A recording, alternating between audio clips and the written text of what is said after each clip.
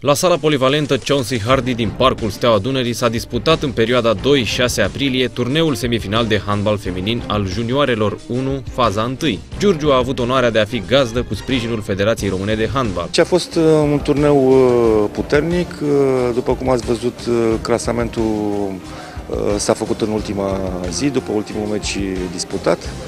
Din spusele domnului director uh, tehnic al Federației Remus Drăgănescu, care a fost și ne-a și vizitat, uh, a fost uh, și a vizionat partidele de ieri și astăzi, el, fiind la, prezent la toate turneele, în fiecare zi la câte un turneu, a spus că a fost cel mai viu disputat și cel mai tare turneu din cele patru organizate în țară. Echipele s-au bătut până în ultima zi pentru cele patru locuri de promovare. Al treilea meci din ultima zi a turneului a fost unul foarte disputat, cu multe faulturi și accidentări. Handbalistele au avut în dese rânduri nevoie de intervenția echipei medicale.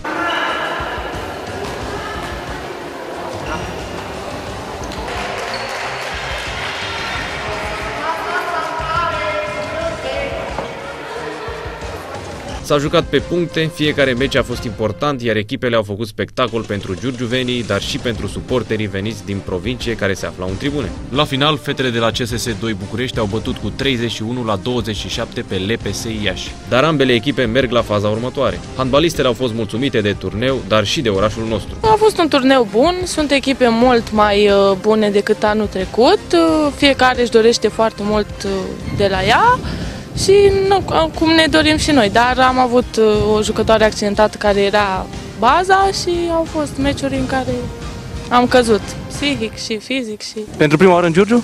Da, pentru prima oară vin și mi se pare un oraș frumos. Clasamentul turneului arată în felul următor. După cum am anticipat și noi, CSS Galați a ocupat prima poziție în clasament, iar din păcate giurgiuvencele care evoluează la CSS 6 București nu vor merge mai departe la faza următoare.